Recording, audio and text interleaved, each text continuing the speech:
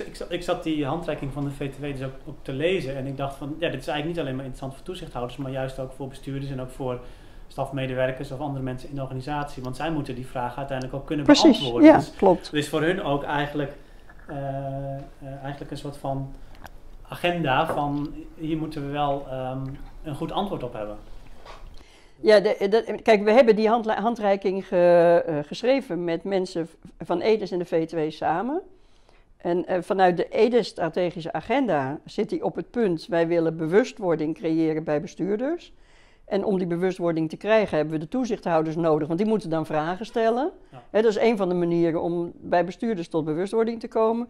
Maar het, het palet aan vragen, eh, ja, dat is eigenlijk ook een checklist voor als je die vraag nou kijkt, hoe, hoe- krijgt, hoe ga je het dan aanpakken om het antwoord te vinden? En dan zou ik tegen mijn collega's zeggen, en ga dan niet windowdressen, maar grijp dat aan om nog eens heel goed te kijken naar hoe doe ik het nou?